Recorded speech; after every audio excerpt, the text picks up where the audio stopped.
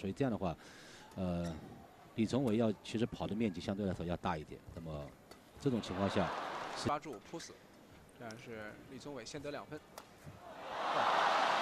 可是下来是压线。对。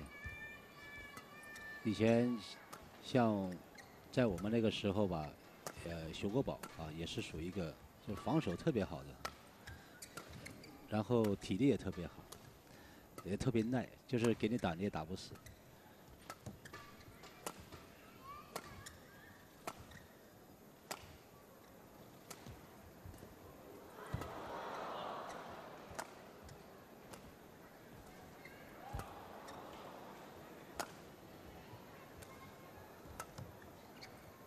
方很耐心，他们两个人的比赛呢，确实是在很大一块要比不能够少了。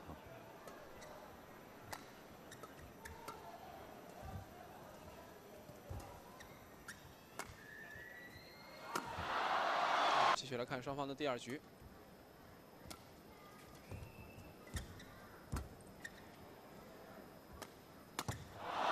我们说了，如果这样的球，如果是体力充沛的话。林丹在这种机会，他的会特别会变速啊。如果速度一变，然后一加快，突击过去的球给对方的威胁是很大的。这个，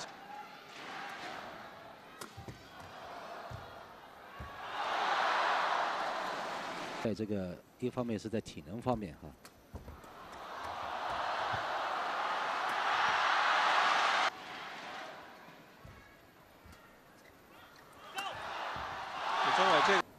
追了三分了。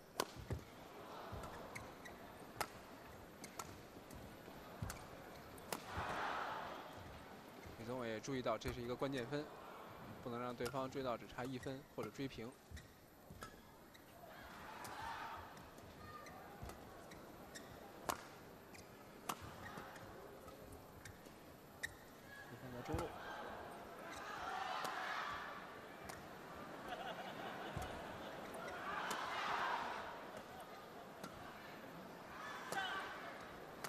李宗伟也显得没劲儿了啊，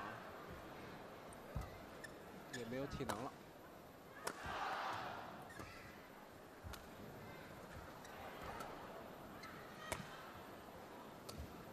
哎呦，好球！但是林丹还是把球接回去，很稳。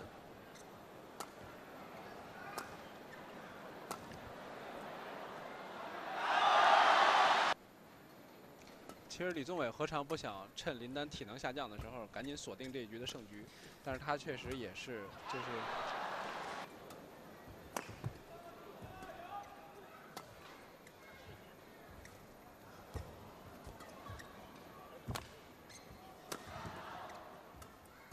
但是像你就是没有尽全力的去杀。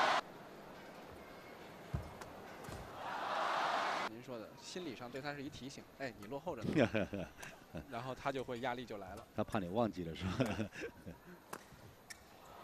李宗伟。